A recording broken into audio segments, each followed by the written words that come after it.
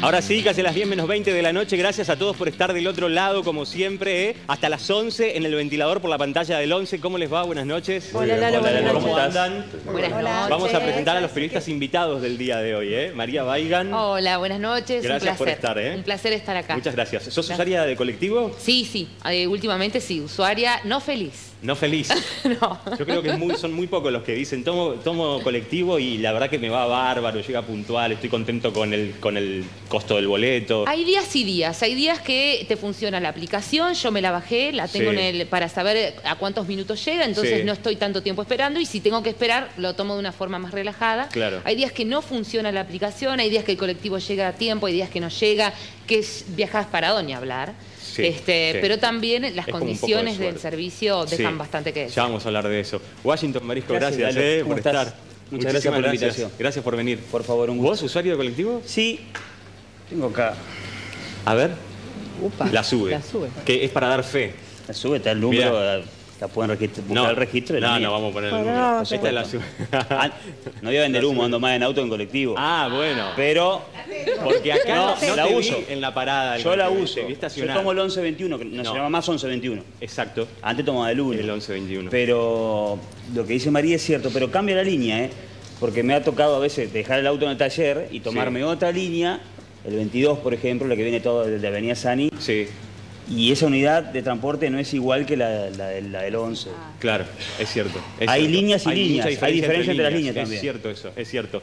Ezequiel Flesler, gracias por venir, ¿eh? No, muchas gracias por, Gracias la, por venir. la invitación. No, por favor. Eh, Un placer estar acá, por supuesto. Gracias. Eh, ¿Vos, en tu caso? Bueno, eh, infrecuentemente, no, no mucho Poco, en colectivo, eh, sobre todo ahora que me, me mudé un poco menos, pero la experiencia siempre es este, similar, sobre todo la gente que uno conoce, las opiniones que recibe, Sí. el tema de las frecuencias, de no saber cuándo, cuándo llega el, el colectivo, muy espaciados, viajar parados, este, la imprevisibilidad para, para llegar al trabajo, perder muchas horas arriba del, del cole son un poco las, creo, la- las críticas que se, Sí. se aunan en todos los usuarios. Es cierto, y desde hace un tiempo la Asamblea Ciudadana, que siempre está muy activa con esto, ¿no? Estaba eh, de alguna manera advirtiendo de que el boleto podía salir, este, puede llegar a salir más de 30. Igual- No es una realidad, pero digo, hoy los empresarios fueron muy duros con eso. Igual me parece que el planteo de la Asamblea viene por otro lado, viene por esta decisión de Nación de retirar subsidio al transporte, Sí. que yo siempre insistí en que frente a esa cuestión tenía que haber una mesa tripartita de provincia, municipio y empresa para ver cómo licuaban esa cifra que va a dejar de venir de Nación. Ahora, Sí. el tema de hoy con el transporte pasa por eh, un incumplimiento de la paritaria, este 5,7% que se tenía que pagar en septiembre y no se está pagando. Digamos, Sí. lo que no se respeta ahora es una paritaria de la patronal acordada previamente. Sí, Claro, pero, son dos temas. Dos ¿no? temas. Son dos temas. Sí. Uno Claro. tiene que ver con. pero digo, este tema Este fue aprovechado también para decir nuestro boleto debería salir tanto. Fue aprovechado por la empresa para plantear que el incumplimiento actual, que es que no está pagando a los trabajadores lo convenido, se por- mezcla con lo que Con lo- va a ser peor, Claro, que es claro. cómo Sí, cerramos el tema claro. de la falta de subsidios al transporte. Porque además Nación pagó 144 millones a las empresas. Digamos, no es que no se está pagando. El problema hoy- es que bueno, hoy el no- perjudicado es el usuario. Totalmente. Pero con la situación esta, si sigue, después va a estar el trabajador de la misma empresa. A ver, lo que pasa es Los que choferes, por ejemplo. los- Sí, es cierto eso. ¿eh? El tema de- del precio del pasaje no es que se les ocurre un precio, sino que hay una polinómica que toma en cuenta un montón de variables, entre ellas el costo del combustible y el costo, por ejemplo, de cubiertas, mantenimiento. Entonces, vos tuviste una devaluación de 100% prácticamente en tres meses que te corrió de registro todos los cálculos previos. Y encima se da un efecto... Dijo eso, ¿no? De que lo único que no estaba dolarizado era el sueldo. Sí. Todo Claro. lo demás Ahora, sí. Claro. Todo Ahora- lo demás, el, el vehículo, en lo- sindical, los lubricantes, las cubiertas, el combustible, entonces están en una situación, la Asamblea planteaba el margen que se le reconocía de ganancia al empresario por la aplicación de esta, de esta polinómica, pero también Sí. el futuro del tema de los, de los Igual. Lalo, me parece que, que también hubo, queda, eh, hubo avances sí. sustantivos en el tema de transporte en Paraná, mover del decreto a, a- a la discusión en el Consejo Deliberante, aplicar la SUBE, digamos, me parece que hubo, y que esta situación de hoy es un retroceso enorme. Y lo que dice Mariano es cierto, hay una polinómica, pero también es cierto que hay una ecuación de un dólar que llegó a estar a 40, pero hoy hay un dólar que está en los 37 y pico, entonces me parece que Lo que pasa también... es que el combustible eh, no había llegado a no baja. Todo lo que le habían prometido que podían aumentar las empresas petroleras. Vamos, vamos a, a- presentar el informe para que ustedes también del otro lado entiendan bien que es- estamos seguros que ya lo conocen, pero para poder enmarcar esta discusión y vamos a seguir debatiendo la huerta. Mira.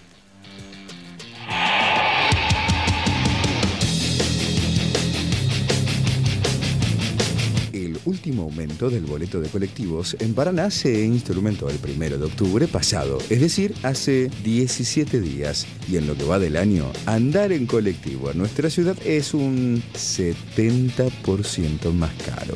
El pasaje que estaba a 8 pesos con 75 pasó a 12 con 40 en julio cuando se implementaron los nuevos servicios y recorridos. Pero desde este mes se trepó a los actuales 14 pesos con 85 luego de haber quitado del servicio un subsidio municipal.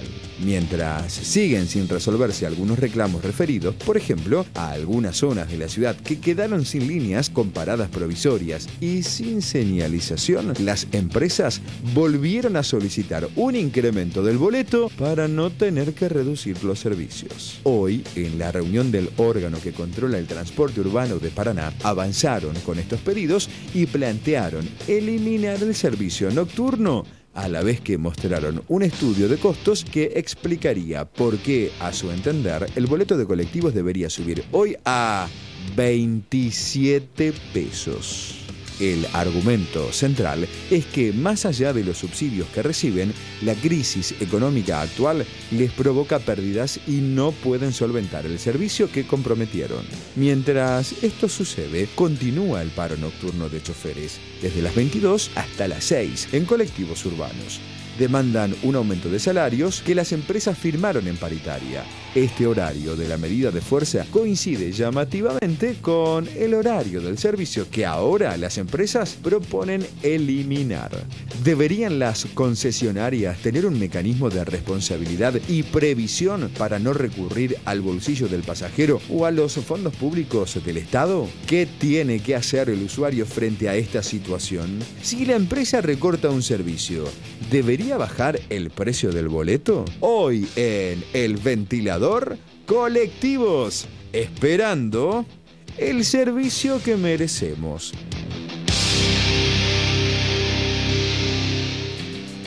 Bueno, paralelamente a esto, a esta situación de hoy, aparecieron fotos que empezaron a dar vuelta, ¿no? En la- Parecían que- memes. Tremenda. Parecían memes, pero, Parecían- no, pero son reales. verdad. Sí, Eran son reales. reales. Son Acabo de pasar por acá enfrente. Me la pasaron recién. Acabo de Ah, pasar sí, recién por enfrente un colectivo con... Ah, las tenemos Con en la el wall, mirá, acá se Con la están viendo. ahí. Eh, Eso es un plano corto, pero en realidad es, eh, a- eh, bueno. 40 vamos a ver. pesos desde enero, decían los colectivos. Claro, esa era la frase, Tenían ¿no? ploteados. Y la tipografía es parecía que la no de se las elimine el publicidades subsidio. No, a la quita de subsidios, claro, desde enero creo que decía. En bueno, y daba ejemplos, ¿no? En Buenos Aires La 13, esto que decías vos. Sí. Acá Acá, 40, 40. Con la quita de subsidios. ¿Esto qué es, Ezequiel? Un- eh, a ver, ahí, Bueno, ahí lo no, vamos a ver. yo creo que- Ahí se ve mejor. Una, eh, obvia, es claro, creo que es una, una presión este, empresaria Sí, sí. en función de que alguien siga haciéndose cargo de los subsidios, si no es el gobierno eh, nacional, como en principio estaría decidido que lo deje de hacer, que haya, bueno, o la provincia o, o el municipio. Eh, en el marco de las previsiones creo que tienen que tomar los, los empresarios, hay distintos elementos para poder hacerse cargo de la devaluación de, que, bueno, que, que hubo en las, en las últimas semanas, la corrida. Digo, hay, O deberían tenerlo, por hay menos. instrumentos para cubrirse, hay seguros, hay montones de instrumentos financieros para cubrirse estas cuestiones. Pasa que el empresario siempre va a tratar de buscar que la erogación salga del Estado eh, de, mu- de modo mucho más sencillo. Claro. Pero Ahora, esa, estrategia, esa estrategia comunicacional de la empresa, en este caso, de reclamo o de presión, como dice el flaco, también es un reclamo del usuario. Porque vos fíjate que el usuario, yo vi en redes sociales, ¿qué se queja? Que las distancias que se recorren en Paraná son muy cortas en relación a lo que se cobra. Si vos pensás un boleto de 40 mangos en Buenos Aires, que haces una hora de colectivo, una hora y media, dos, está bien, tenés el subte para, para comparar, ¿no? Pero está acorde. Ahora vos decís, haces 10 cuadras en, en- en cole, en Paraná, Sí, sí. a 40 mangos, de eso se queja la gente. Claro. Es decir, bueno, 40 mangos para 7 cuadras, para Ahora, 15 ¿qué pasa cuadras. con si el servicio fuese mejor? Porque acá eh, No hemos pasa tenido ahí, invitados. para mí no. Para Pasa- vos no. es por Porque sí que hemos tenido invitados que lo decían, ¿eh? Hay un límite en donde, al que tampoco no podés 40, llegar.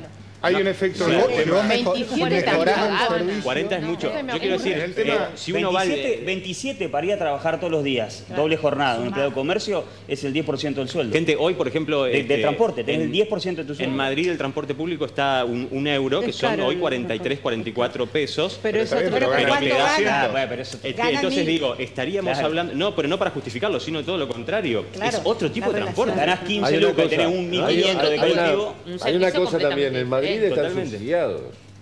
En Madrid están Incluso. subsidiados.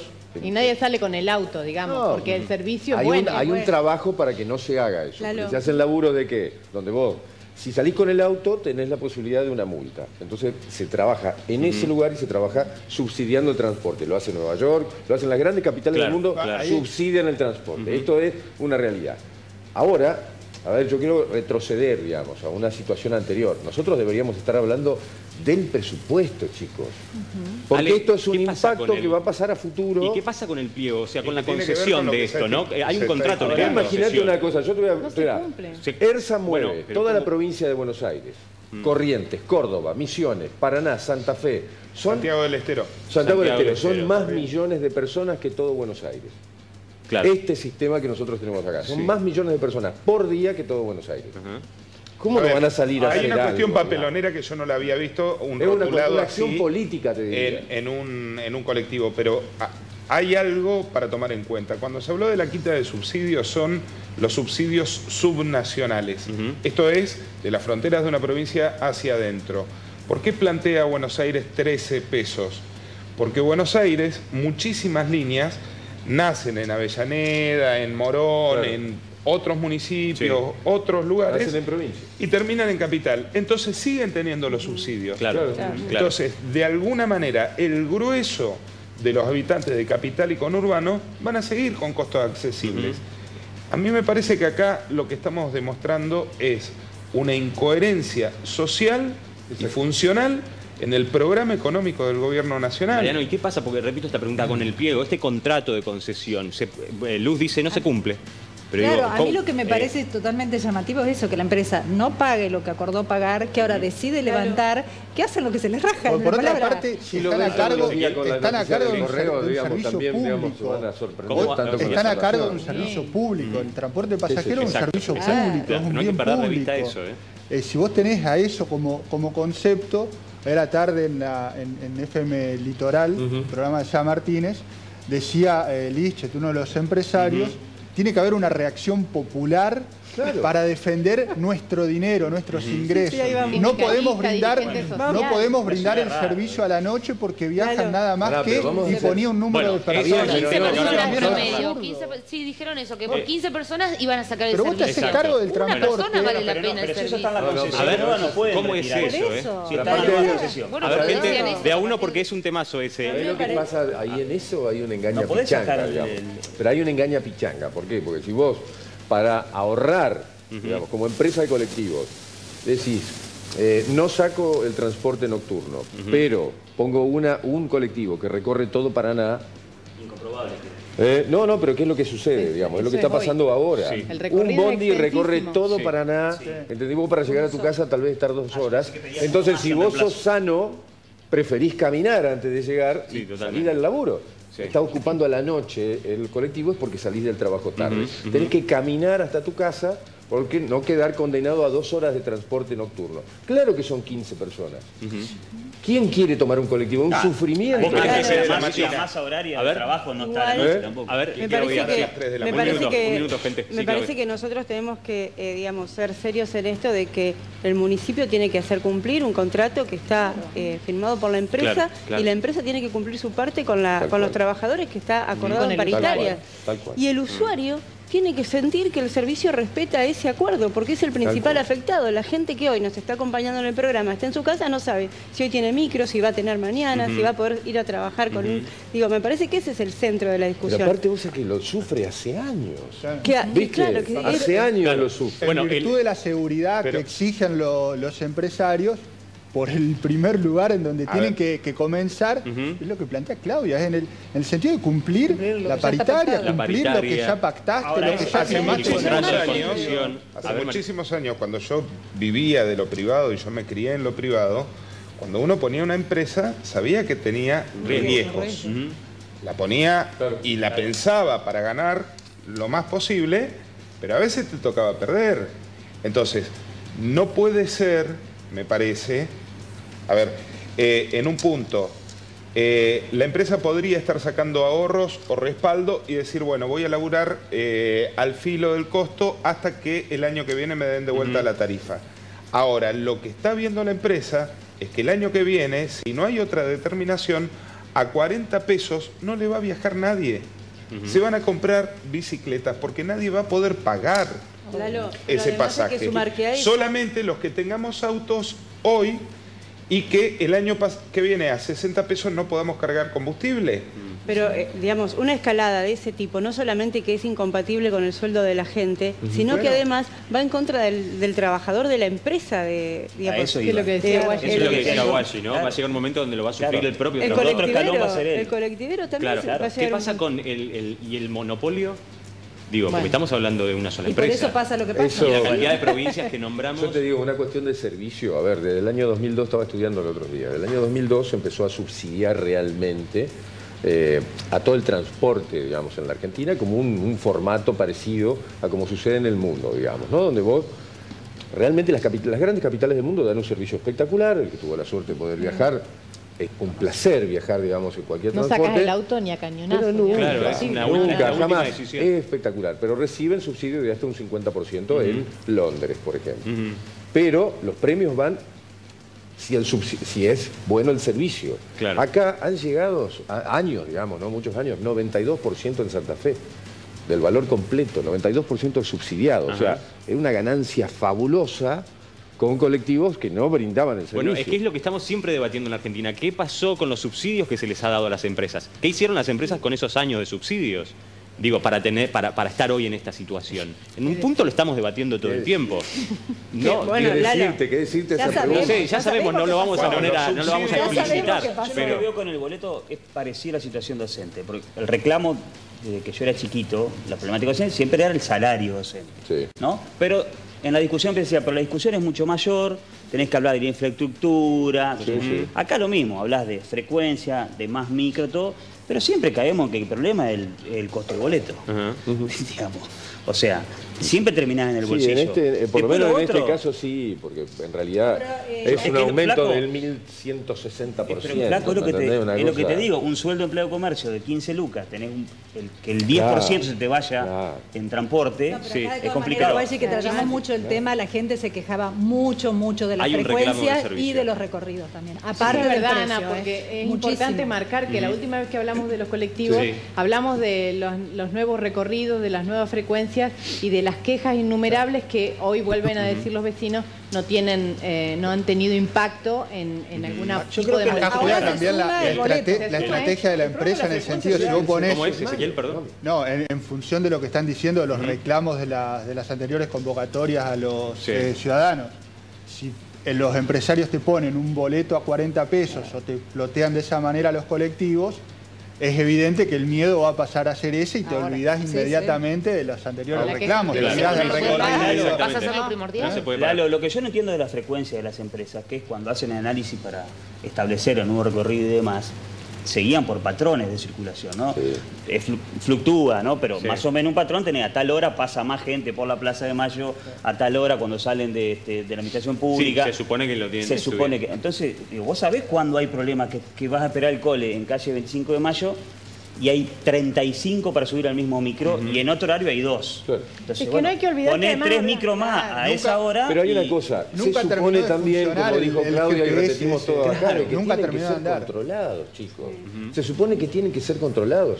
Si hay un, servicio, y vos sos representante de la ciudad, de todos nosotros, tenés que controlar por qué gasto la plata acá y si el colectivo 9 y cuarto viene a las 9 y cuarto. Igual me Y no parece- está pasando, nunca sucedió. Me parece ¿cuáles que controlaron, Nadie famoso que Me instalaron, parece nunca terminaron de que es controlarlo. muy, es muy vergonzoso que una empresa tome a toda la población eh, para defender un interés privado como es el de su ganancia, que es legítimo, que está bien, como decía Mariano, cuando tenés una empresa, un riesgo empresario que querés ganar. Eso es legítimo y está muy bien. Ahora, generar esta campaña de pánico de 40 pesos el boleto, si no me das lo que yo quiero, me parece que es vergonzoso. Bueno, pero tienen más votos que Bueno, ahí Y además que debería no le estar están el pagando a sus Estado trabajadores. ejerciendo presión Claro, y bueno, sanción. Ese Claro, es yo- otro tema. Porque además no hay que olvidar que ellos, como dice María, están reclamando un 5,7 ¿no? Por otro lado. Eh, pactado, en las acordado. primeras paritarias, Acordado. en julio pactaron un 10% más. O sea, nosotros hoy hablábamos con el secretario general de la UTE, decía, imagínense cuando, esto recién empieza, 5,7 que se está pidiendo, 10% más que se acordó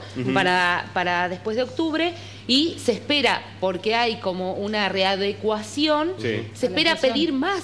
Claro. ¿Qué tendrían que hacer los choferes de colectivo? Sí, ¿Salir sí, a sí. decirle a la gente, o sea, incendian la empresa porque no nos están pagando? Sí, O sea, es como por eso que... estamos hablando, sí, de que son dos temas, pero los dos tienen que ver, porque me parece que los empresarios toman... Ahora, Es que ¿cuáles ese son...? fue el primer chantaje. Eh, el, costo, el costo de los choferes es más o menos un 30% del costo operativo de la empresa de colectivo. Lo chequeé en dos fuentes. ¿Por qué le decís chantaje?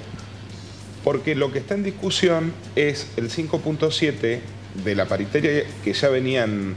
Entonces, cuando vos haces el número, estás hablando de un 1.2% más o menos de aumento de su costo operativo por la parte salarial. Lo frenan desde principios de septiembre para generar el malestar y la adhesión de los, de los choferes. Los choferes no son locos. También están viendo lo siguiente, lo contaban los eh, de la UTA de Santiago del Estero. ¿Qué pasa si cae eh, la empresa?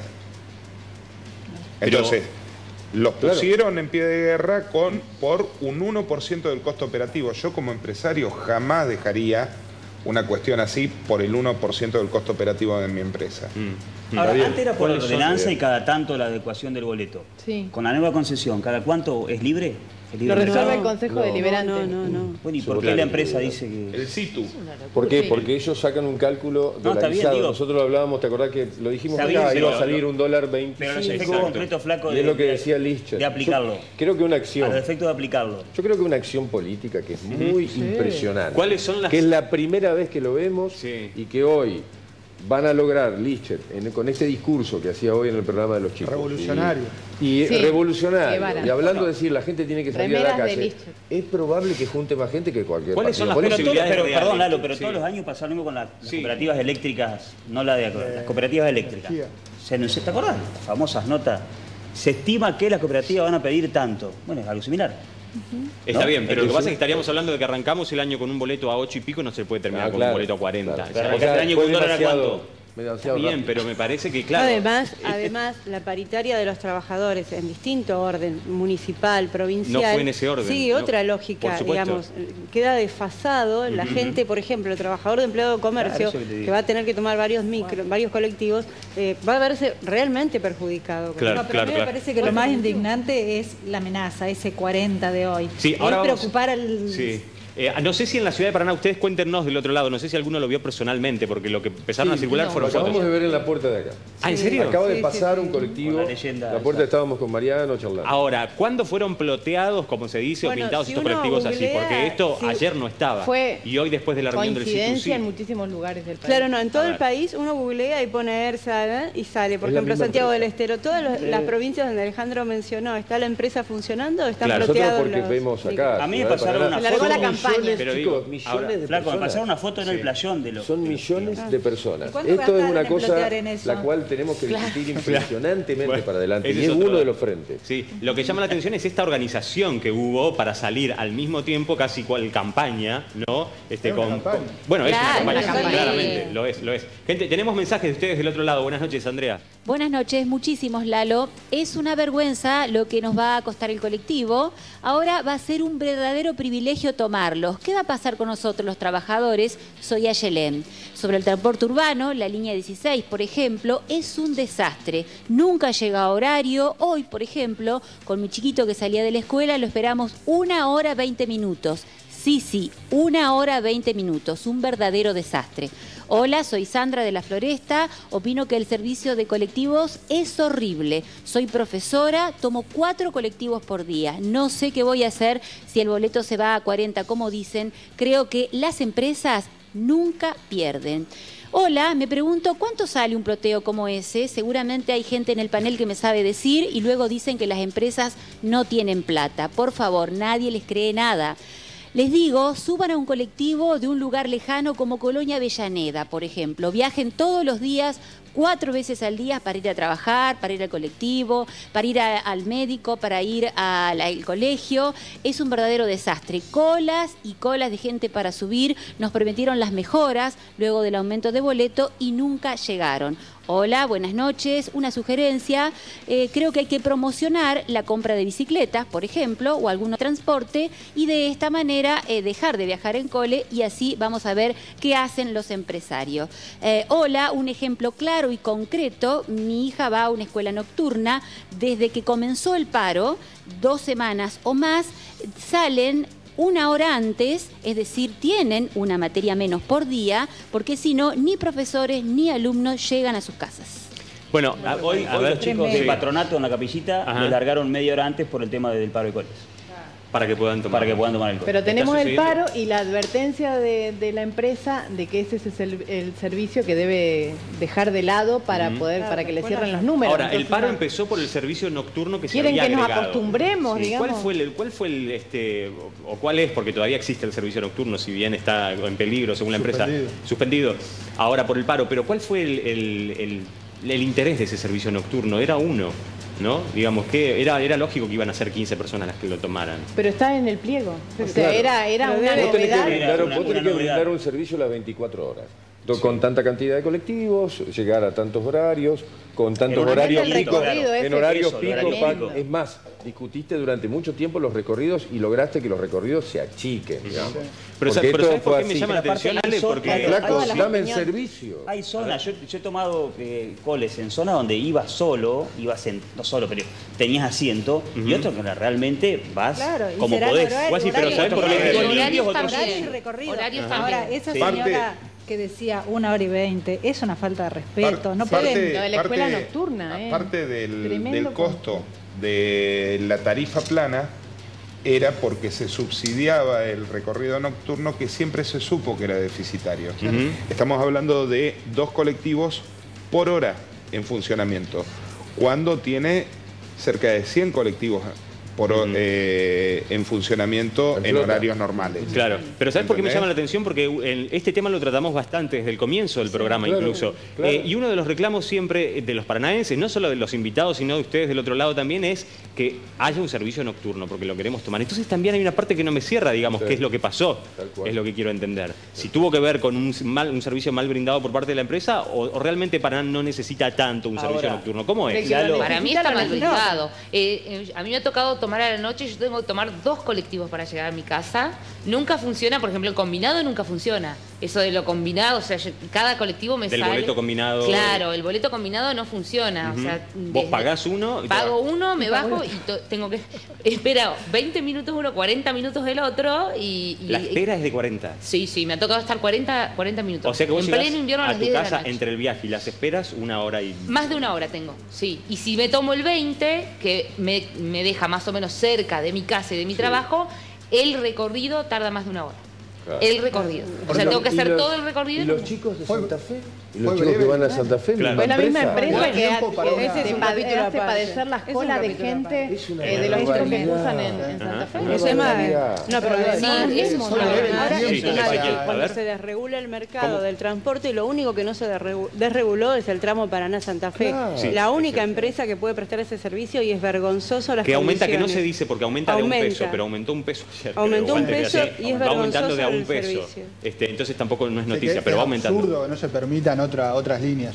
No, iba a decir, por otra parte es breve el tiempo que llevamos de transporte nocturno. Sí, es cierto, Digo, en es función de que la ciudadanía se acostumbre, Sí, sí, sí. eh, de que más o menos se acomode a los horarios, etcétera. Digo, hay un proceso en donde primero los empresarios firmaron y se comprometieron a brindar el servicio.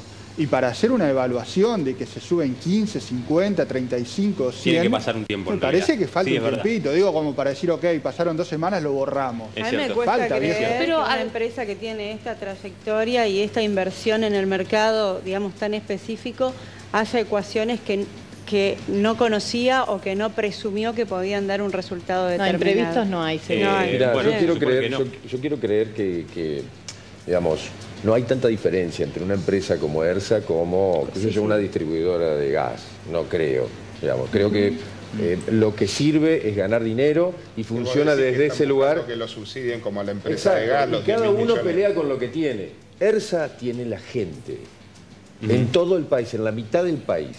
Y tiene la posibilidad de tirarte la gente encima. Es una guerra la cual ha comenzado, tiene que ver con el presupuesto y que nosotros tampoco podemos quedar impávidos en eso. Pero Ale, claro, un televidente recién decía, tenemos que organizarnos como, como usuarios. ¿De qué manera se hace eso? ¿Cómo Bueno, se pero organiza como uno usuario, ¿con quién estás? ¿Con la- o sea, ¿con la empresa o con...? Porque yo no estaría del lado de la empresa. Si a mí no me da el servicio que dice que me va a dar, tampoco estaría del, del lado del que no, no le cumple a la empresa. O bien, sea, María, Claro. pero acá el ¿Y que hacer toma- cumplir qué- Claro, ¿Qué contrato postura es toma un municipio. ciudadano? Acá no hay buenas pero sencillo. No, y el claro. usuario... No hay buenos, no hay buenos. Claro. Lado del No, así. Tomás la postura de usuario, chicos. Claro, pero un o sea, te vas con todo contra la empresa, contra lo que tenga que Sí, ser, sí. Y, y nos dejamos de hinchar o dejamos de usar el servicio, vamos y golpeamos a la puerta ¿no? de, la- Habría donde que quien haya que Me golpear. parece que el televidente se de refería, hinchar, pero claro. se refería a eso, de qué manera nos organizamos. Hay Bueno, que- había un bueno, mensaje que proponía buscar alternativas, bicicletas y demás alternativas. Sí, lo que- Vamos ahora- a reconocer Que es un servicio mucho. esencial en la ciudad de Paraná, que se ha agrandado considerablemente. Los una mensajes de Avellaneda. sí, yo creo Ahora, que... mundo perdón, Claudia, ¿no? Opinamos con conciencia de clase, y todos somos empleados, pero y hemos opinado en función de lo que piensa el usuario, que es Claro. el perjudicado. Claro. ¿no? Ahora, ¿qué, qué pensaría el empresario en este caso? Ujú. Ante esta problemática. ¿Cómo pensaría un empresario? Tiene que ganar plata. Porque no le alcanza la plata.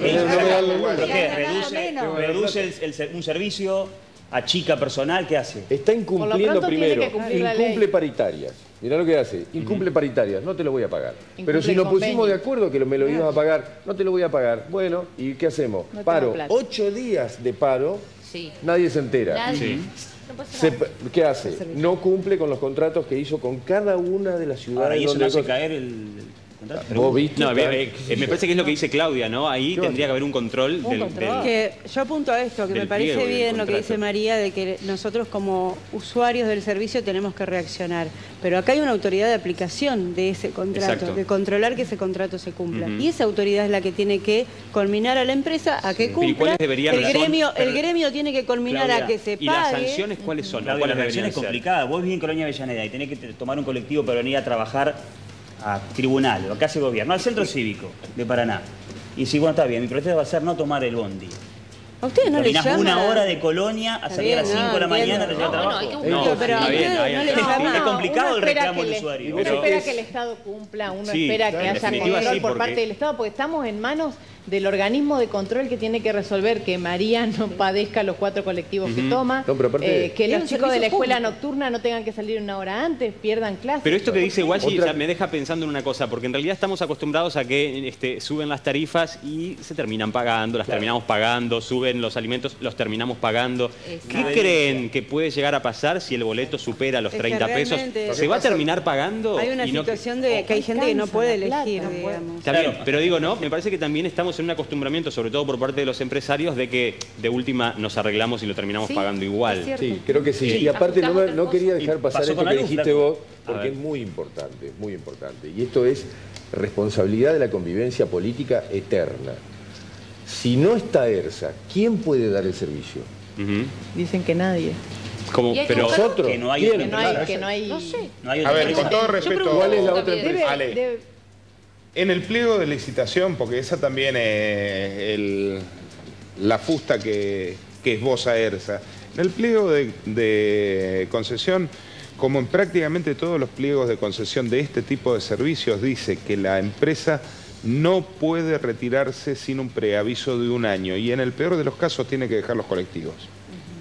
Ah, bien. Bueno, Pero bueno, está bien, pero sí, de todas no, es maneras... mala, no es mala la solución. Yo digo porque lo pregunto seriamente porque no sé quién puede dar ese servicio. lo que Nosotros- pasa es que hay que controlar que eso se haga también. Porque Claro, porque no Claudia. cumple. Por eso yo te decía, si por un lado yo entiendo al empresario y le exijo que cuando le toca perder en una coyuntura, Sí. lo haga. Ahora, si es una coyuntura que vos sabés que tenés un descalce de dos o tres meses, perdés un poco. Ahora, si sabés que vas a laburar a pérdida los ocho años de- del contrato de concesión, arrancás. Muy mal antecedente de esto que pasó con las distribuidoras de gas que finalmente termina apareciendo el informe de Enargas diciendo que le recomendaba no pagar Claro.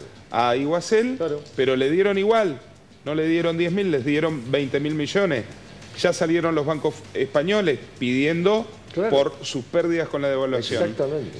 Mariano, ¿son Pero- públicos los balances de estas empresas o deberían serlo? Deberían serlo. Pero digamos, nosotros como usuarios, como ciudadanos, más allá, más allá que no, No, no deberíamos creo son nada. Los públicos los que balances- participan en ver, Los bolsa. balances es claro. Le los pregunto balances- porque no lo sé, ¿eh? lo- lo- por eso, los balances es complicado. Ujú. Sobre todo, como dice Mariano. Para que saber no realmente que dónde hay pérdida Pero lo no. que sí podemos saber. dice que trabajan a pérdida. Lo que sí podemos saber, y eso es complicado verlo, cada vez más complicado, pero en la web del Ministerio de eh, Transporte de la Nación sí. son los eh, desagregados de los subsidios. ¿Eh? Está bien, pero digo, el número de la El empresa número no de la lo puede empresa conocer es más nadie. difícil, es más difícil. Claro, con lo cual siempre Respecto también a estamos hablando un poco a Mariano, ciegas. y Para porque- cerrar la idea, digamos, Ujú. hay un contexto eh, de reclamos empresarios, de planteamientos empresarios que han prosperado. Por ahí la campaña que larga ERSA eh, dice, por ahí la Si emboco. vos le pagás a uno, Y alguien se hace si vos- cargo y si yo vos le pagaste a uno, ¿por qué no le vas a pagar a todos? ¿Por qué no, se va- no voy a dar la pelea para que realmente pagues a todos? Ahora, Pero en lo del gas había una ley, no se olviden, en lo del gas ¿te había una ley. que lo más complicado No. era eso. La ley Se Perdón, no, un precedente. No, porque ¿Qué ahí salido primero Sí. la confirmación de que Metrogas sí se había cubierto con dólar futuro, lo que hubiera hecho cualquier empresario razonable. Aparecieron las pruebas de que Metrogas lo había hecho. Y segundo, eh, se comprobó de que la ley había sido creada por Aranguren en 2017. La ley de 1992 no decía nada de lo que había argumentado igual. Y a ver, en relación a eso, ¿qué pasa cuando nosotros eh, tenemos esto de que también nos quedamos un poco tranquilos cuando decimos, bueno, listo, no lo pagamos nosotros? Eh, se decidió que lo paga el Estado. ¿No? Cuando Somos se. nosotros. Digo, Somos nosotros. porque el- el- el- de alguna manera las empresas están buscando que lo pague el Estado. O sea, de alguna manera, o nosotros de nuestro bolsillo o a través de los impuestos de nuestros de nuestro bolsillo. Claro. En un punto es lo mismo, ¿no es cierto? Digo, eh, también nos pasa que me parece como argentinos nos deja un poco tranquilos cuando no es directo de nuestro bolsillo, sino de forma indirecta desde nuestro bolsillo. Claro, no te das ¿cuál es- cuenta, pero bueno, o, no te das Ahora, yo cuenta. te planteo otro pero- escenario con esto del boleto. ver. Te- eh, suponete que consigan el subsidio. ¿No? Algo. Bárbaro. Que no se- que no claro, se claro. elimine. Que cumplan la paritaria. Ponele cumple la paritaria con el empleado. Y No, pero son dos, por eso, son Por dos eso, cosas diferentes. que se, se arregle todo. ¿no? Y el boleto sigue igual que ahora. Ujú. ¿A qué volvemos? Al debate de la frecuencia. Claro, Del a que el servicio. servicio sea bueno. O sea, digamos que es, es como el eterno retorno, ¿no? Pero ¿y si el Digamos, o sea, servicio, es que si el servicio es malo. Está bien. Pasa que. Yo creo que no los Ahí. controlan. Vos imagínate, vos tenés que ir a comprar, vamos, vamos a, a- sabemos, de- a- vamos a hacer una Es como una- analogía. Vos tenés que ir a comprar siempre el mismo negocio. Sí. Tenés que ir a comprar, no hay otra vuelta, y tenés que ir a comprar lo mismo. Y te dan el pan duro todos los días. Todos los días. Y encima, este, un día te dicen, no, mirá, eh, tenés que venir de 4 a 5, pero yo salgo después de laburar y bueno, No tenés no pan. sé, no tenés pan.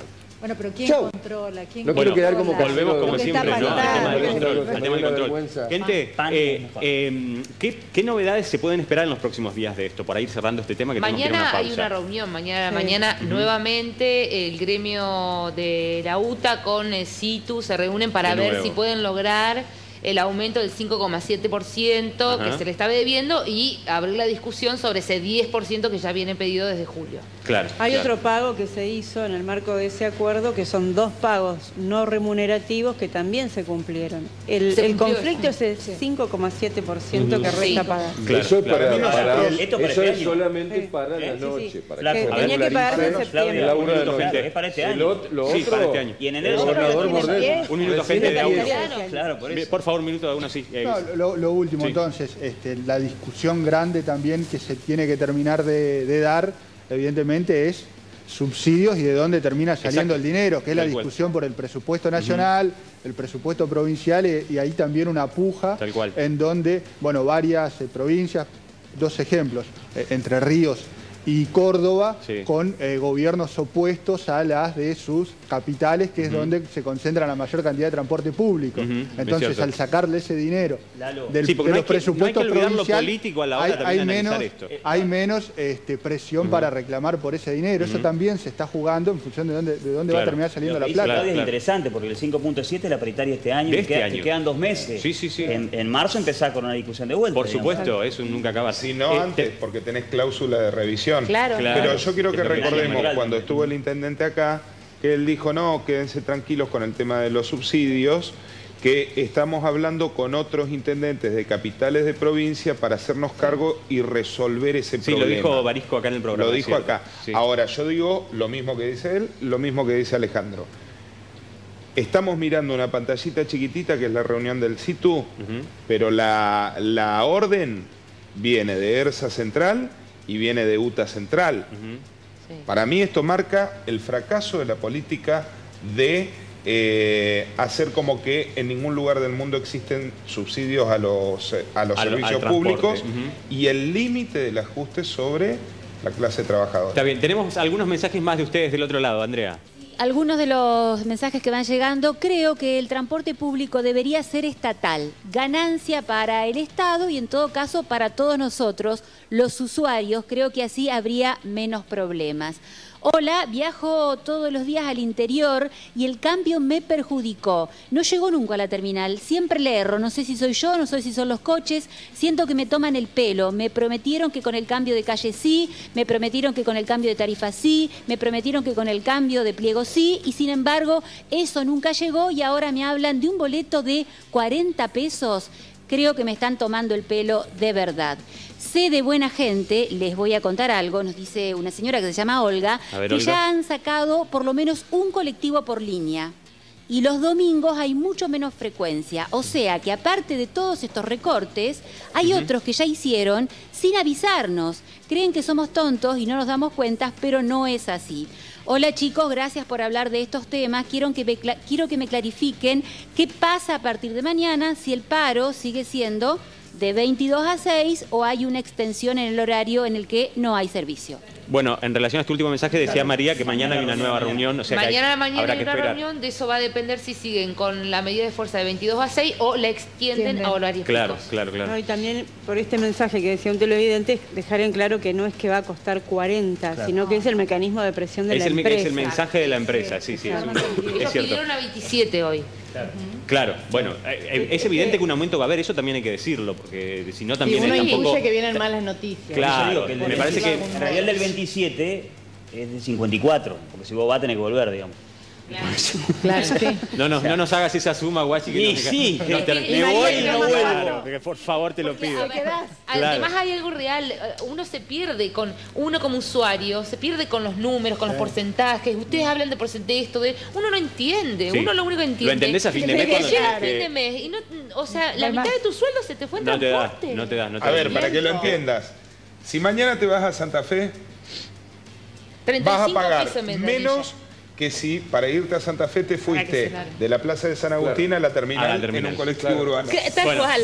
Gente, gente, vamos a estar atentos a este tema. Mañana hay reunión, lo vamos a seguir tratando seguramente. Vamos a compartir una pausa breve y vamos a hablar de otro tema que hace mucho a la vida este, cotidiana de todos nosotros y, y que es la posible nueva ley de alquileres que está con media sanción. Ya venimos, pausa breve.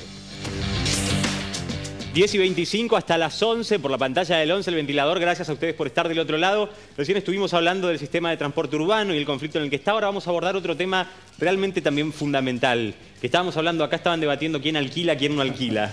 ¿Quién, ¿Cuántos alquilan acá? Yo. Alquilo, alquilo. De, ¿Alquilás? Yo ya no. Uno, dos, tres, casi la mitad, te diría. Ahí, Alqui- vos- Alquilé 7 años, ya siete, no. siete años. Yo no alquilo para vivir, pero alquilo. Pero, ah, ah, ok. ¿Y vos, Luz? ¿Alqui- Alquilé hasta hace seis años. Todos tenemos. Pero lo cierto es que también, más allá de que estemos alquilando o no en este momento, siempre conocemos de qué se trata. Sí. O, o pasamos en algún momento por esa experiencia o algún este, familiar. Y nosotros tuvimos un programa hace un tiempo acá en donde abordamos este tema y vinieron actores fundamentales de esto, incluso el presidente del colegio de, de, mm, inmobiliario. Armándola, Armándola. este, y, y otros este, protagonistas del, de- del tema, representantes de los inquilinos, porque hubo asociaciones, no sé si las hay todavía, hubo uno que lamentablemente se desarmó, que era una asociación de defensa a los inquilinos, que incluso fue una de, de las asociaciones que más impulsó este proyecto de ley que ahora tiene media sanción que ahora entra a diputados y que va a ser debatida y que tiene puntos bastante controvertidos. Yo creo que para los que para los que alquilamos no, no, No, ninguno es controvertido. bueno. claro, De me todas parece. maneras, son eh, necesarios y hasta algunos faltan incluso. El proyecto pero- que está en discusión ahora no es una primera versión. Este tema de una ley para Sí. el alquiler es un tema que viene desde Muchísimo 2009 tiempo, sí, Muchísimo tiempo. y que antes tiene, por ejemplo, como primer versión en 1920 cuando Irigoyen co- congela los alquileres Ajá. y dice, bueno, vamos a darle un marco de protección a las personas que no tienen vivienda. Claro. Que creo que ese es el debate de fondo. ¿Qué pasa Bueno. con el acceso a la vivienda? Digo, ¿por qué Sí. tantos eh, tenemos que alquilar o es tan dificultoso el acceso Sí, al yo crédito? creo que El el fondo es más antiguo siempre, pero- fue el primer paro de inquilinos en, en el mundo, que fue en 1907 acá en Argentina. eh, que hubo un muerto. A ver, y ese que dato no en lo- un momento se sumaron mil inquilinatos de la ciudad de Buenos Aires y después empezó a sumar gente también en Córdoba y todo. Más parecido a hoteles eran. Claro. eh, o Eh, en realidad, Sí, sí, eh, la, la- la cuestión fue así. En 1871, la, la epidemia de fiebre amarilla, Sí. con la vuelta de los soldados de la guerra del Paraguay, este, la gente estaba muy concentrada, en las, sobre todo zonas del San Telmo y todo. Sí, sí. Se fueron a los alrededores de la ciudad, quedaron tremendos caserones. Que son los conventillos que... Y llegaban todos los inmigrantes a los que les prometían trabajo, casa, tierras, etcétera. Y bueno, y entonces una familia por pieza. Exacto.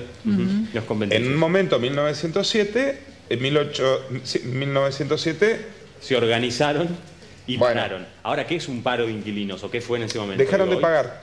Claro, que hoy no- creo que no podría existir No, no eso. Adem- eh, me parece que Ah, es un que ver dato... con la concentración, Mariano. del- Era otra del cosa, lugar. Claro, Claro. eran todas las casas de las familias pudientes que se habían ido a su casa quinta y alejado del centro. Sí. Además, la mayoría de esos alquileres también eran de forma informal, eran irregulares, informales, eran alquileres de habitaciones. Es un dato, porque eh, lo que está contando Mariano es cómo se organizaron. Hoy, a pa- eh, digamos, en el marco de la ley también los inquilinos, como dice Claudia, desde hace muchísimo tiempo están y estamos tratando de organizarnos para impedir los abusos, sobre todo, no, Bueno, no la- para otra La cosa. segunda reforma de la ley fue con Alfonsín en el 84 y después se instala el debate sobre la ley de alquiler en 2009 que viene de la mano del peronismo y de una fracción kirchnerista. 2011 vuelve, 2016 también y finalmente esta versión que reformula la que aprobó el Senado Claro. por unanimidad. Claro, bueno, vamos a compartir un informe para que ustedes este, entren en situación y seguimos debatiendo a la vuelta. Mira el informe.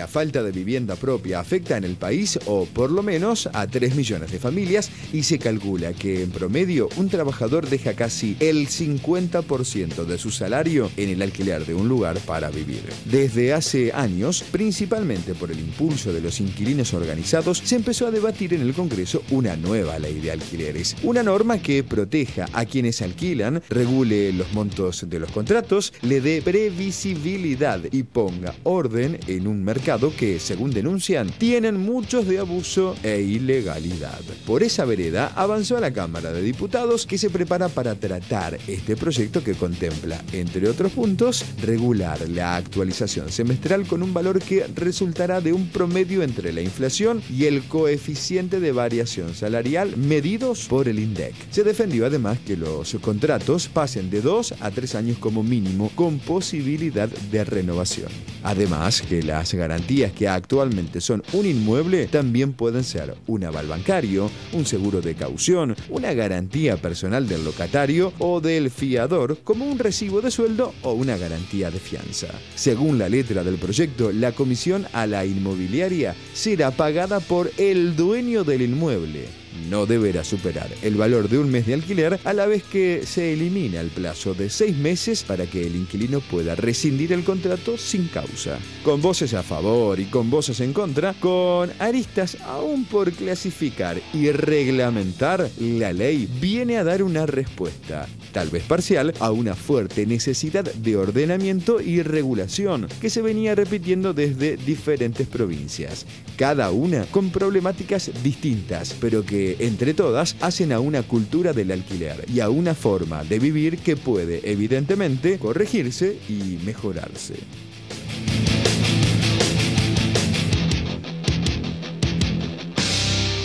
A ver, en el último censo del 2010 de la provincia de Entre Ríos, el 63% eh, habita en este, lugares que, de los que son propietarios, pero el otro, que es el 37, en números redondos, eh, alquila. Es un número bastante alto, estamos casi 60-40. Hay un digamos. dato importante que, que agregar al- a lo que agrega a lo que detalla el informe, que es otra buena noticia que vendría de la mano de esto si se convierte en ley para los inquilinos, que es lo que conocemos como la, la eterna demora de que eh, quien alquila eh, pueda acceder a mejoras en la vivienda por problemas eh, gravísimos en, en una, en un inmueble. Sí. Ante esta situación y ante el incumplimiento del propietario de reparar, por ejemplo, una pérdida de agua, eh, el inquilino eh, lo puede hacer eh, a costa de- del que propietario paga. sin que haya mayor discusión de que si corresponde o no corresponde. siempre se arregló otro- Contado ¿no? del alquiler. ¿es eso? No, no, Claro, corre lo cuenta del podés propietario descontar del o acceso. de Sí, lo- O sea, podés arreglar el baño que tenés roto y lo descontás. Y lo otro que es saludable también en la ley es que todo lo que es gasto fijo de la propiedad corre por cuenta del propietario. Por ejemplo, la gente que alquila departamentos y que hoy le cargan las expensas,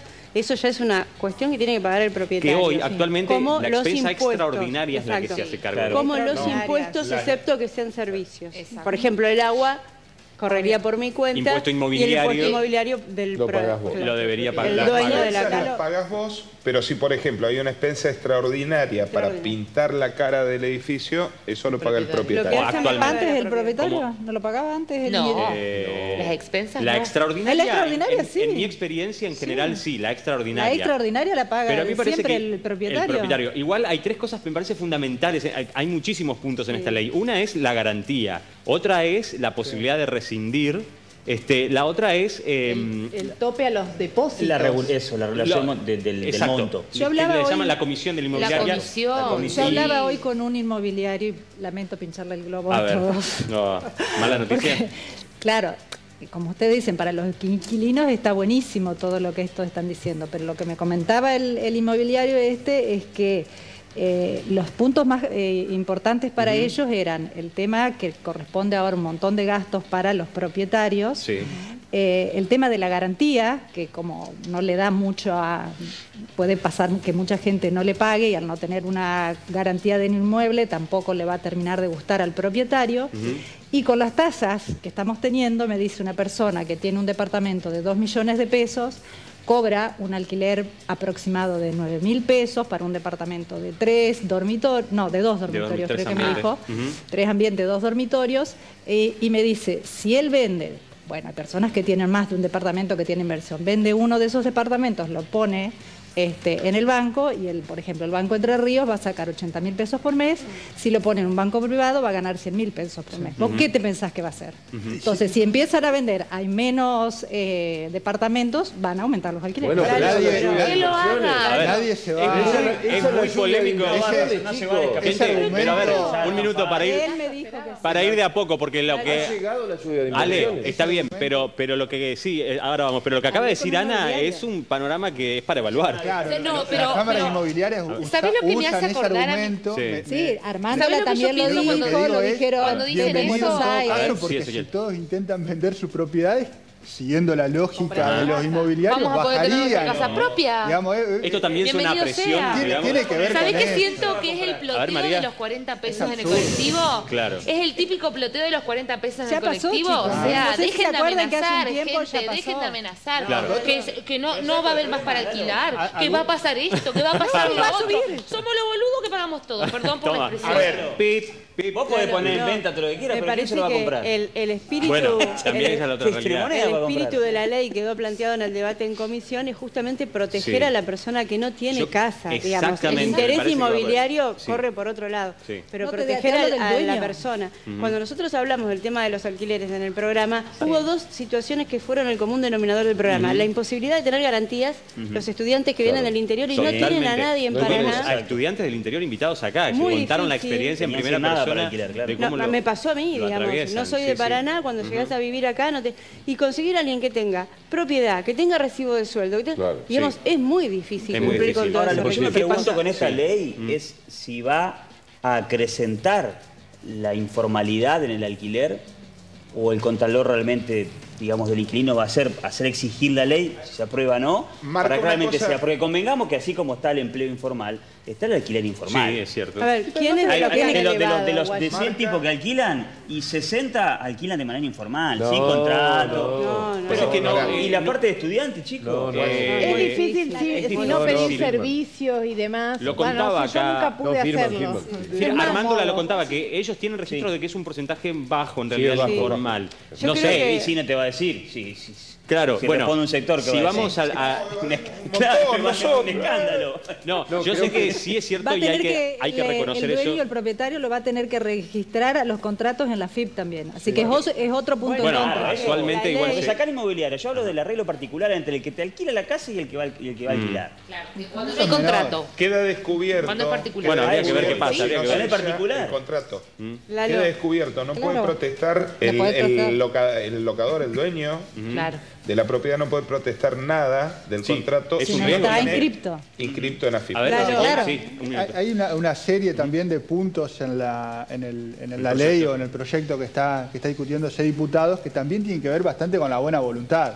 Claro. Este, en, el, en- en el siguiente- iba, en el siguiente sentido. ¿Por parte Eh, de quién? Bueno, de los que promueven la ley, de los que promueven la ley. Este, hay aspectos, a ver, este, sumarles tantos o cuales eh, montos al propietario, a la inmobiliaria, los impuestos, un mes, el depósito, bajarlos, etcétera.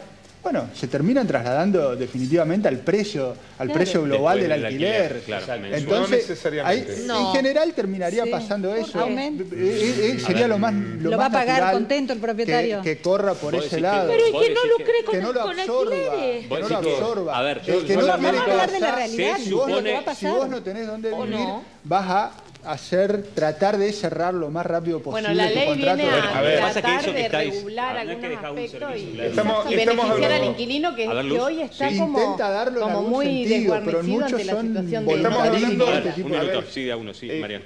Acá las cosas eh, son aplicables, las leyes son aplicables y las costumbres son aplicables siempre y cuando beneficien al poderoso.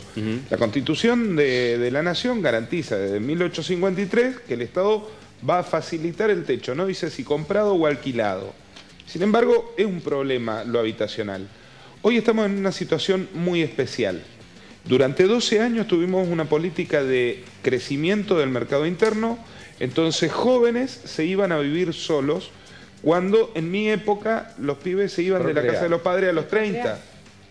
Entonces, hoy tenías, no, pero gente que, que estaba alquilando. Hoy están dejando propiedades, no había propiedades y entonces las propiedades valían cada vez más porque pedías una pavada y te lo pagaban igual porque no había. Hoy estamos en otro proceso, la involución.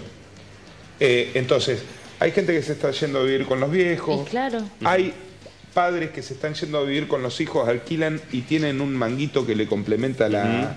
Está concentrándose y están apareciendo cada vez más eh, eh, casas Sí, libres, propiedades libres.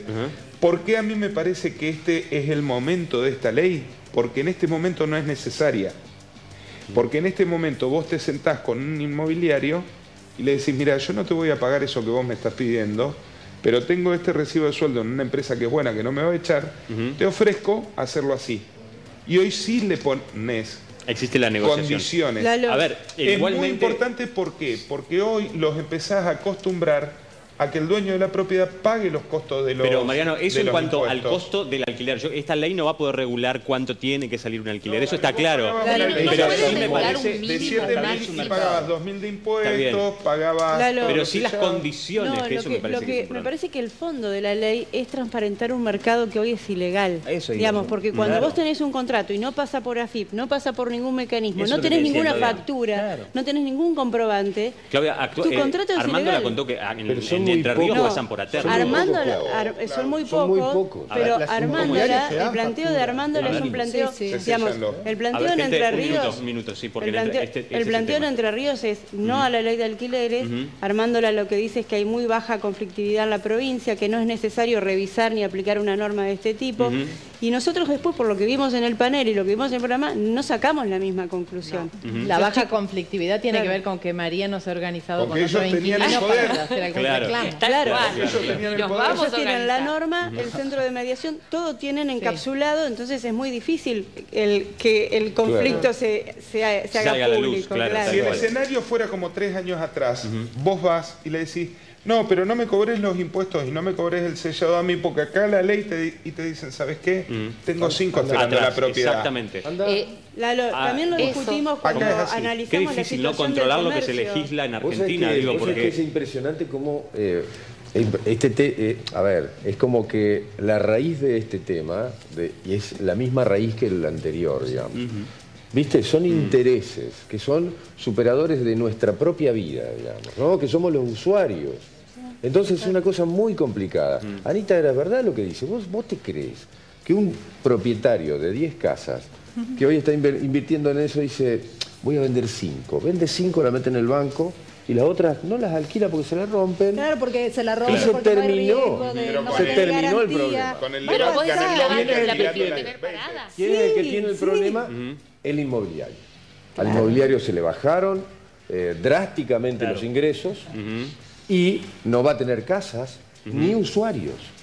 Claro que el, el agente inmobiliario va a empezar a patalear de alguna manera. Ah, pero Sí, igual después el propio mercado va a regular, como ha es algo pasado, Flaco. momentáneo. Nadie se desarma de una propiedad Eso. para comprar un título por unos meses. Eso es un poco... Yo- eh, No, pero la no a lo mejor la cierra ¿no? Me parece tenés- Yo conozco gente que lo hace. Lalo, eh, Yo conozco gente que lo ha hecho, porque aparte no es unos meses ese. Igual yo Hace creo tres que- años que funciona. Igual ver. años que son unos meses. Está Es bien, pero no es lo mismo Ya. tener... No, bueno, pero Creo bueno, que- na- es difícil desarmarse de una... o vender una propiedad Sí, claro. para, bueno... a- Para empezar a especular con el banco. Porque además hay otra. La Acá propiedad la de mayor de cantidad de, valor. propiedades que se desarrollaron acá en la capital provincial tenía que ver con fideicomisos, digamos, Sí, con sí. construcciones, Bueno, las sí. cuales gente que tiene una gran cantidad de A ver, guita, gente, un minuto, minuto. entonces vos la- tenés 15 departamentos. Sí, A ver, te liberás de los negocio. 15. Fuera Un minuto, gente, un minuto. Creo que de la ocho. ley puede Sí, ser sí. un condimento disruptivo a la hora de analizar la burbuja inmobiliaria de Paraná. Alquileres exorbitantes en zonas que no son, digamos, este, tan este, increíbles para vivir. Lo mismo lo analizamos acá en el programa cuando vimos la situación de comercio. Un local en la peatonal de. Paraná, 60 mil pesos, Claro. 70 mil. Entonces me parece que esa burbuja tiene que estar de que el algún mercado se va a regular cuando Claro. la demanda empiece a cambiar, digamos. Pero lo- la luz lo- lo peligroso. Lo que pasa es que lo que me contaba el inmobiliario. Claro, Eso claro. es lo peligroso. Van a retirar según el departamento, Que se entonces regule el mercado. Pero no todos, no, No, todos. pero mirá después- dónde se Yo creo que Pero el menor es un- punto de vista, obvio que no Se todos. dan cuenta que va bajando el costo de los alquileres, se dan cuenta que tienen que seguir pagando los impuestos, las expensas, y se dan cuenta que no hay peor mantenimiento de una, de una casa que tenerla cerrada y desocupada. Es cierto, es cierto, es Entonces, en algún Van a momento van a volver. Eh, en dos meses dice, no, bueno, la, la- la tasa no, de interés no va a ser de vuelven, un 40. y- aceptan ¿qué haces? la nueva regla de juego, entonces para mí es positivo. Ahora, para mí lo más importante de esta ley tiene que ver con esas cinco opciones de garantía Exacto, que va iba- a ser a obligatorio hablar de eso, sí. para el locador, para el dueño, aceptar. Estamos hablando del seguro de caución, una garantía inmobiliaria como lo es hoy, una Exacto. garantía del banco. Exacto. eh, Seguro caución, Eh, garantía personal Una garantía personal que no esa sí no la Recibos de sueldo. y el recibo de Hoy sueldo. Que funciona recibo de sueldo y garantía real. Y el mes de adelanto. Tres garantes Claro. te piden hoy. Eh, Hoy te suelen pedir hasta Claro. tres garantías. Tres garantías, Recibo de sí. sueldo, eh, propietaria y... Bueno, Y propietaria. ahora, ¿qué es exactamente, si alguien me lo puede explicar, el seguro de caución o el seguro del banco? Digamos, el banco es tu garante en ese caso. El banco es... Sí, es que por si dejas ver. de pagar vos como inquilino, el banco se hace cargo de la plata que no Pero le ¿cuánto pagaste te al- sale a vos al locador. ese, ese- Es una garantía que hay que pagar. La caución es un seguro. Claro, es un seguro. seguro bancario, viabilizado por una entidad, por un banco comercial. La Ahora, caución es eso, un seguro. Si esta ley se regula, las inmobiliarias estarían y los propietarios estarían obligados Aceptar. de aceptar o puede un propietario decir yo a mi propiedad no la quiero alquilar sí, con seguro y volvemos dice. a lo mismo. ahí entra en lo formal de vuelta, claro. Claro. Lo que pasa pero que... es difícil. No, y además toda ley después tiene una etapa de reglamentación, digamos. Me imagino que muchas cuestiones van a quedar sujetas a esa De etapa. todas maneras, que, la, la- No. lo- A ver, lo- Ezequiel, que, sí, lo- un minuto. que los contratos de alquiler no hubiesen permitido eh, cauciones, seguros bancarios, etcétera, tenía que ver con un atraso este, de la Tal cual. legislación en función de, la- de los 30 nuevos instrumentos financieros. Creo que son más positivos para un para una inmobiliaria cobrarse de una Yo- caución que sí, de un sueldo o de una propiedad que a veces es una casa, un campo, quién sabe dónde, no lo puedes buscar. Pero pasa que después también está la decisión del propietario de decir yo este, te, la, te la doy en alquiler, pero quiero con estas con Digo- esas condiciones, con estas características y digo, ¿está en su derecho si la ley también de alguna manera le pide que, que acepte otra cosa? este caso ¿Cómo que- es ese Está en su límite? derecho, pero En este caso creo que tenés que firmar, eh, pero fuera de la ley. es En este caso Claro. creo que, ver, es vos propietario creo que te- preferirías una caución, un instrumento de estos financieros, pues es más fácil de ejecutarlo. Creo que esta, ahí no, no- Lo que la, pasa- la No habría dificultad no, iría por ahí. El- la dificultad es que los dos instrumentos financieros que cita la ley, los nombra, pero no están implementados ni diseñados ni puestos en vigencia. Entonces dice, eh, seguro de caución, y no me acuerdo cuál es el otro término, que deberá ser diseñado y acordado con los, Sí, los avales, bancos. avales bancos, perdón. Entonces, Claro. No, bueno, pero por Eso eso indica- insisto yo. eso que- Abrimos que una puerta. ¿cómo La inmobiliaria No, pierde no. dinero, gana el banco. No, pero hay que esperar, banco a ver, insisto, Claudia. la- toda ley tiene una etapa de reglamentación. También es posible Sí, que a la hora Cámara. diga solamente puede ser el Banco Hipotecario, solamente puede ser el Banco Nación. Claro, claro, Digo, claro. tan- eh, hay lo que esperar que novedoso, eso lo pase. único novedoso son Ahora- esos dos instrumentos Sí. que el banco eh, brindaría la garantía propietaria que uno no, no tendría. Pero esas dos herramientas dice que hay que diseñarlas y acordarlas con la banca. O sea, de los cinco puntos, los dos realmente novedosos y muy interesantes y muy necesarios son a diseñar. Ah, pues se diseña el instrumento. Igual yo sospecho, supone que- yo sospecho, permíteme sospechar Sí. que sea todo tan lindo y tan color de rosa. Sí, Que se presente la ley como diciendo acá, eh, el inquilino va, la va a pasar bárbaro, cinco, del tiene- inquilino. Vení, metete, metete Yo espero que, yo espero que sí, porque de verdad Estoy es una- esperando el gol de cabeza en el último Miren, minuto. la ley, la ley se aprobó, esta ley eh, con algunos retoques, ¿no? No es la misma versión, Exacto. pero... el- De una cámara a otra pasó con No, no, se aprobó en unanimidad. 2009. Claro. Lo que pasa es que el proyecto, Ah. el proyecto cayó y perdió estado parlamentario, es decir, dejó de estar vigente, porque en el medio ocurrió la- el fenómeno del campo. Y el Congreso se paralizó y la cuestión social fue otra. En 2009 también tenés el, el estallido de la burbuja de la subprime con que Bueno, te decían instrumentos Congreso- financieros Está bien, inmobiliarios. pero más- más allá de la causa, pasó digamos, por otro sí, lado, claro. digamos. Y esta ley quedó, pero tenía ya una media sanción. Y ahora en el Senado, cuando se aprobó, porque esta es una revisión, digamos, como va a tener cambios, tiene que volver al Senado para Sí, que claro, la aprueben. claro, claro. En el Senado se aprobó por unanimidad. Me cuesta creer que en este escenario de de peronismo, este, cambiemos y demás, Ajá. hayan coincidido todos en una ley. Eh. Eh, el dictamen de un sector del peronismo, del peronismo que representaría al de los gobernadores del peronismo, eh, está planteando algunas discusiones Sí. menores eh, con un dictamen de minoría y un debate que se plantearía dos cuestiones que están planteando. Si se incluye el alquiler comercial con las mismas reglas de Ajá, juego y eh, qué pasa con la regulación de las profesiones que están vinculadas con el contrato que se entiende son eh, reguladas y legisladas por las provincias y no por nación. Claro. Habría que ver algún mecanismo de adhesión desde las provincias Bien, para atender a este ley, tema, claro. pero son objeciones que de fondo se quiere, se Ujú. quiere a- Bueno, uno de los puntos que me hiciste acordar es poder extender de dos a tres, Tres años, el alquiler domiciliario. El, Y una rescisión a los seis meses También. Re- con Sí. respecto a lo que vos decías, si la- el, el el propietario le quiere alquilar Puede a cualquiera, decidir. decidir, si te alquilo o no de acuerdo a la garantía, hay una, se pidió incluir un artículo este, que se prohíba la discriminación por género y por, por condición sexual y por cantidad de hijos. Así que sucede. Bueno, Yo claro. no te alquilo porque tenés mucho hijo Pero y me vas a destruir. Bueno, hay Claro, alquileres, que, son- hay Sí, sí, alquileres sí. que no admiten niños. Por eso. Sí, Sí, y animales. Digamos. Bueno, eh, animales que- por más ley que, que exista, la- por ahí el, el- Pero bueno, eso ya es una cuestión de... de- de- Lo quieren poner por ley, por eso te digo esto, Que no- porque que no pasa. no te pueden obligar Claro, a, firmar No, un contrato de alquiler. Límite digo es muy- Es muy Volviendo raro. al tema del bolsillo, que siempre quedamos en el bolsillo, ¿no? Mm.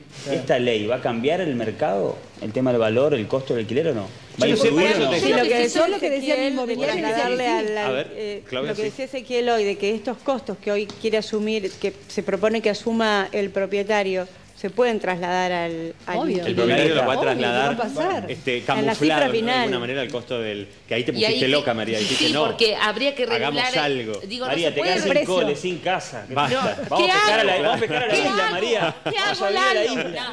No, no, pero eh, digo, eh, no, o sea, ¿por qué siempre el inquilino queda completamente Desprotegido. Y esta ley, en teoría, es no para se puede proteger. poner Porque es el una capitalismo, una- María. Porque es el capitalismo, María. Claro, A ver, o sea, No, yo no lo pero de votaría verdad. ninguno de los que están acá, ¿eh?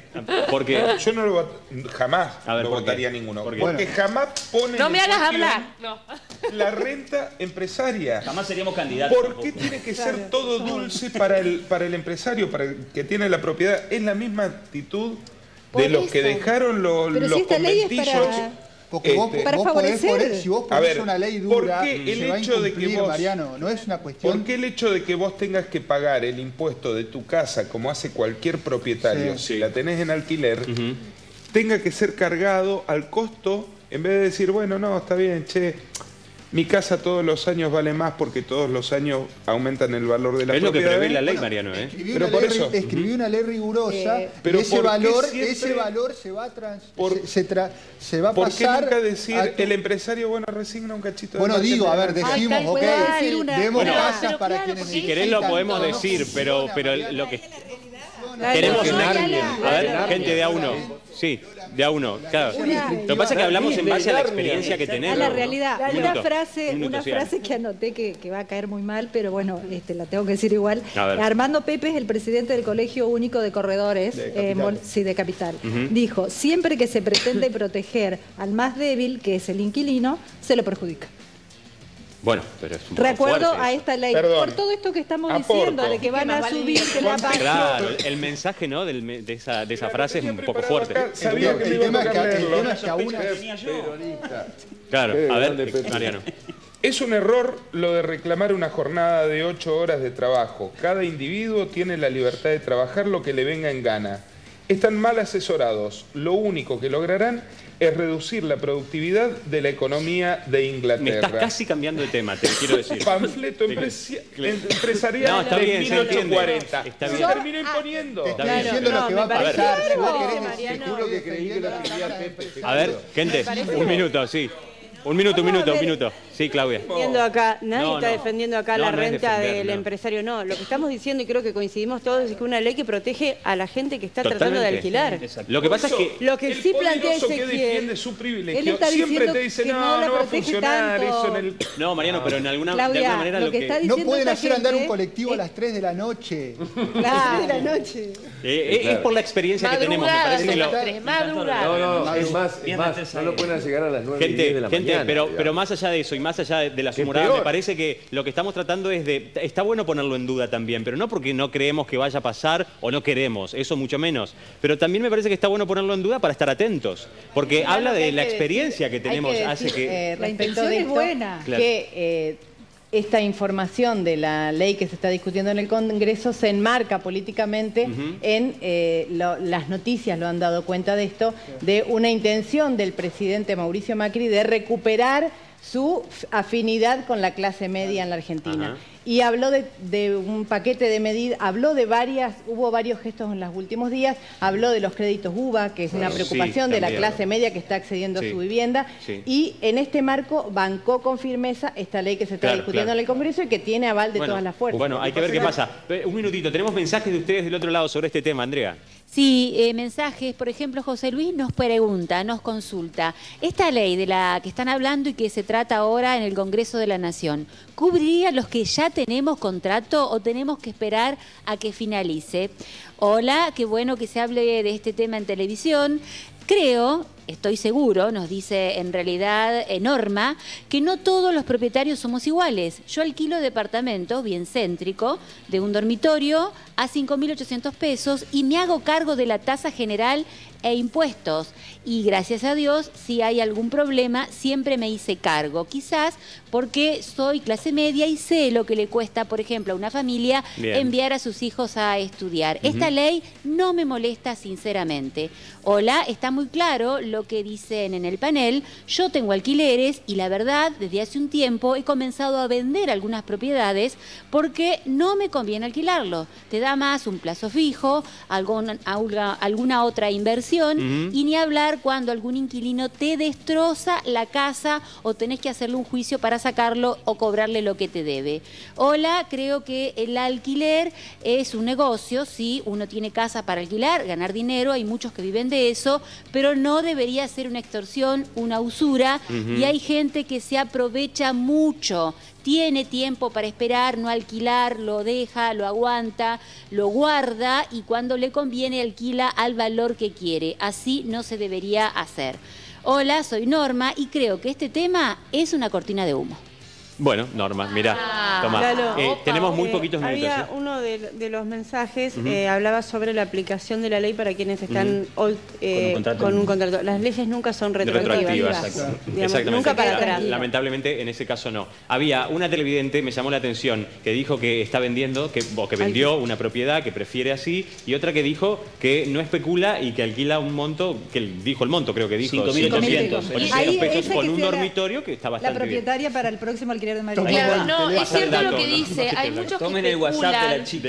Bueno, pero decime si no se, no, es- no se convirtió en un negocio esto de decir tengo varias propiedades, vivo de la renta. ¿Y por qué claro. tiene que ser así? O sea, pero por eso a vos te suman un alquiler de, eh, pagás 8 mil pesos y, y en un mes estás pagando 11 mil. Porque eso es lo que está pasando lo ahora. de la actualización semestral también está incluido en este, es una... Bueno, eso, Piden eso de un año. el De un Frente año. de Inquilinos. Y poder que- rescindir a los seis también, ¿eh? Claro, el También, Frente de Inquilinos son dos cosas que está planteando. Sí. Esta rescisión de los seis y que la actualización sea anual An- y no anual. semestral. anual y no semestral y de acuerdo a una variación Exacto. que está Entre la marcada por el INDEC. salario. tiene que ver más con la realidad. Exacto, salario, exacto.